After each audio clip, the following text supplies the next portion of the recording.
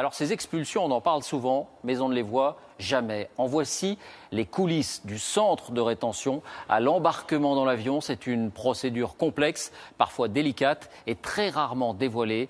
Grand reportage signé Audrey Goutard, Jean-Marie Lecartier. Ils n'ont pas le choix. En 2012, 27 000 clandestins ont quitté la France sur ordre des autorités. L'État paye le billet. Dans la plupart des cas, les clandestins partent d'eux-mêmes.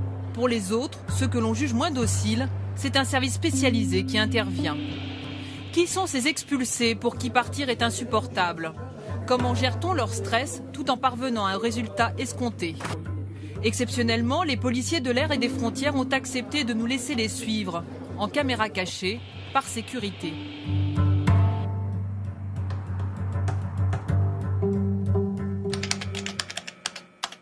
Bonjour. Parlez français Non, il ne parle pas. Non. Albanais Ok. Ok. Ces hommes sont des escorteurs. Ils appartiennent à une unité spéciale de la police de l'air et des frontières. Vous ouvrez la bouche Très bien. Ils viennent pour un Albanais en rétention administrative depuis cinq jours. C'est un tout jeune homme. Ils ne vont plus le lâcher. Nous faisons Paris, Rome, Rome, Tirana. C'est pour ça que nous venons avec vous jusque là-bas, parce qu'on passe par l'Italie. D'accord? Il n'y a pas de problème pour vous? Ok. Des questions? Essayez de... Non? Il ne comprend pas un mot, mais le policier lui parle sans cesse. Ce n'est pas pour lui faire la conversation, c'est une technique pour le tester.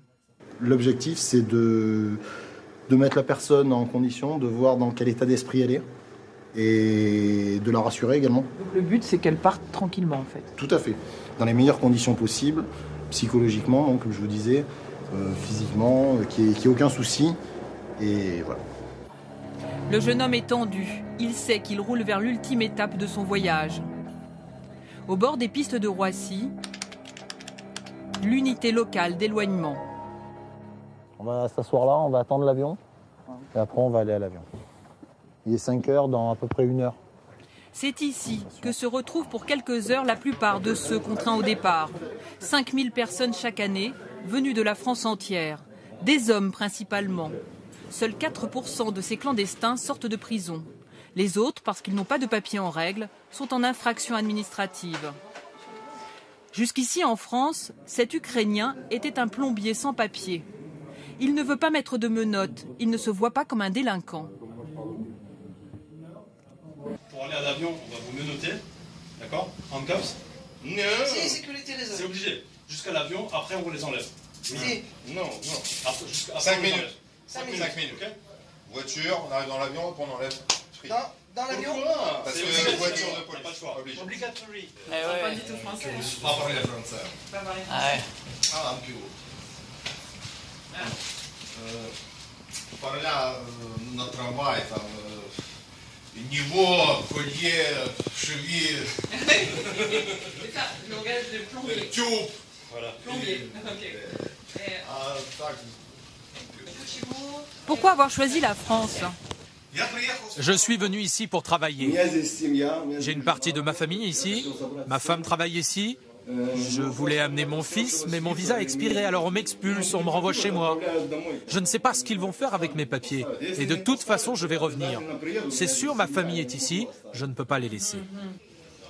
Cela faisait cinq ans que ce Pakistanais était clandestin en France. Il vivait de petits boulots. Dans une heure, vous allez à l'avion. Ok You want to smoke? You have a cigarette? You don't have a cigarette Un moment. Une dernière cigarette avant le grand saut. Il redoute son retour au pays. C'est moi. Ici, il est venu 11 000 euros. 11 000 euros pour venir de là-bas jusqu'ici. Ah, 11 000 euros. 11 000 euros. C'est mon papa, ma maman qui ont payé. 11 000 euros. 11 000 euros, travailler, travailler, travailler. Là-bas, je n'arriverai jamais à rembourser. Je n'ai pas de solution. Mon futur est fini. Je ne veux pas rentrer au Pakistan. Ça fait pas un peu de puissant fond? Enfin, vous n'avez pas l'impression que quand vous, vous, en tant que professionnel, euh, vous ramenez des gens qui ne pensent qu'à une chose, c'est repartir de toute façon. On évite de poser, enfin, on évite de se poser des, des questions en ces termes. Parce qu'à ce moment-là, si on commence à prendre en considération tout ça, euh, on peut finir par, euh, par s'imaginer qu'effectivement, ça peut être un, puissant fond, mais après, nous, on applique une décision de justice qui a été rendue par un tribunal. Après, il y a des considérations politiques, mais ça, c'est pas Pendant ce temps, l'Albanais, accompagné de ses escorteurs, s'apprête à monter dans l'avion. C'est un moment délicat. You understand? So, don't worry. Il faut toujours le rassurer parce que là, c'est la première fois qu'il va prendre l'avion. Ah oui. C'est la première fois qu'il prend l'avion, donc euh, c'est pas, c'est l'inconnu pour lui.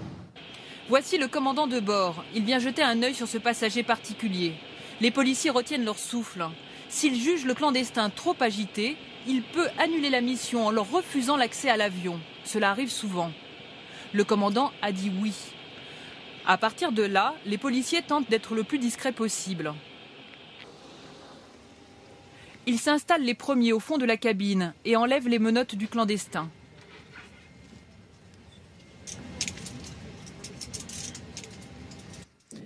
Dix minutes après, les premiers passagers rentrent. La plupart d'entre eux ne s'aperçoivent de rien.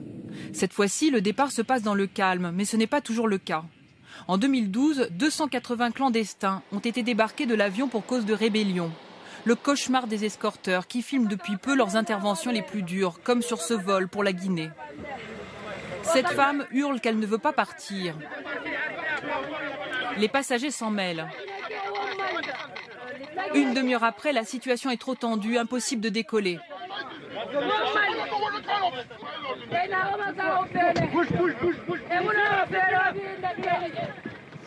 Ils sont spécialement formés pour intervenir dans un lieu confiné. En quelques minutes, la clandestine est débarquée avec le passager le plus virulent.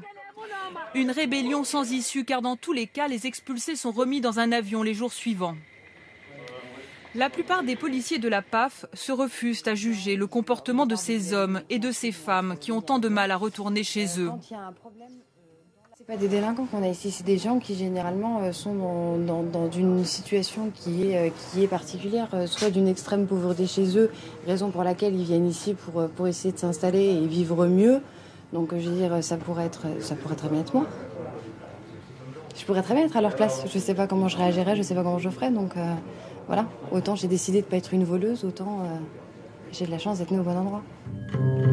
Chaque expulsion est un cas particulier, y compris en termes de coût pour l'État.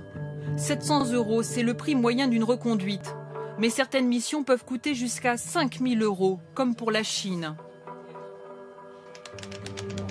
Le pôle central d'éloignement, une tour de contrôle qui gère l'ensemble des dossiers, un peu comme une agence de voyage. Il y a la question des coûts, mais aussi le choix des destinations.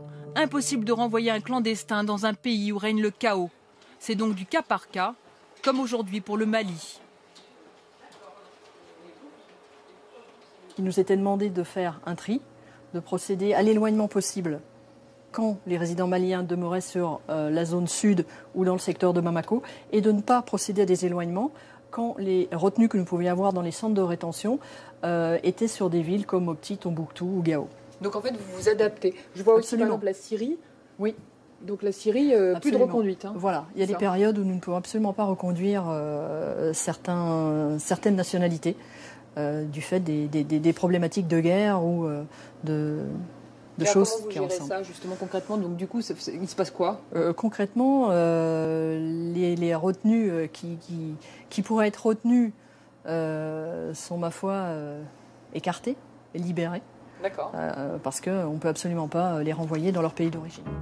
Comment être efficace tout en respectant les droits de ces hommes et de ces femmes? C'est toute la problématique de ces reconduites. Depuis peu, ce circuit d'expulsion ne concerne plus les familles. Elles sont assignées à résidence à leur domicile. Des expulsions à la carte et désormais sans objectif chiffré. Voilà pour cette enquête.